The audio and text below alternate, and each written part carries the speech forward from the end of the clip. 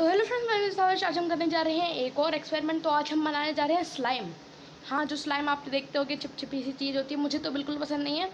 लेकिन थोड़ा इंटरेस्ट होता है यार बनाने में। मज़ा आता है थोड़ा।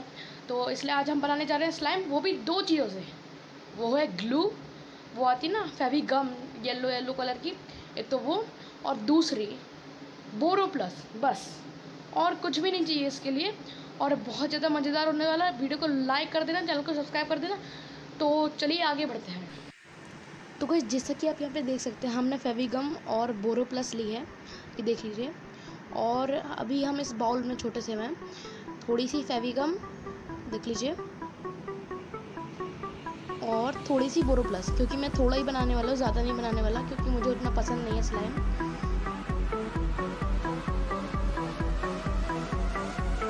पे बोरो प्लस ले लिए और अभी हमें मिक्स करना है, बस और कुछ नहीं करना।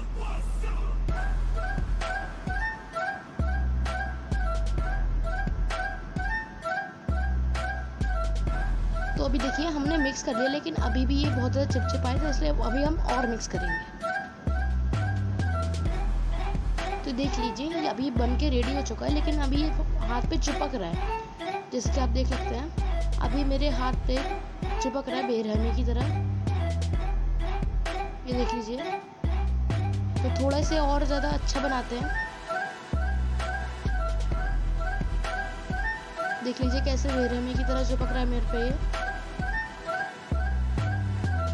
तो बस अभी देखिए, अभी मैंने इसे बहुत ज़्यादा मिक्स करके बहुत ज़्यादा अच्छा बना दिया है। और अभी ये बहुत ही कम चिपक रहा है। ऐसा नहीं कि बिल्कुल ही नहीं चिपक रहा चिपक रहा है। लेकिन बहुत ही कम चिपक रहा देख लीजिए, टेबल पे भी नहीं चिपक रहा। पहले तो उस बॉल को सत्यानाश पीट दिया था इसने देख लीजिए। तो वो आपने अभी देखा, मैंने जो स्लाइम बनाई थी, वो शुरुआत में तो काफ़ी हाथ में चिपक रही थी, लेकिन फिर मैं थोड़ा सा ऐसे और ऐसे मिक्स किया तो फिर वो ठीक हो गई। अब मेरे हाथ में वो नहीं चिपक रही थी, उतनी जितनी पहले चिपक रही थी।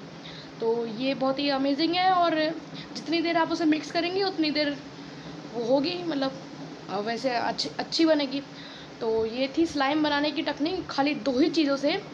तो चलिए, मिलते हैं अगली वीडियो में। अगर आपको अच्छी लगी तो एक और बार लाइक कर देना यार। तो चलिए, बाय। मिलते हैं अगली वीडियो में। तब तक के लिए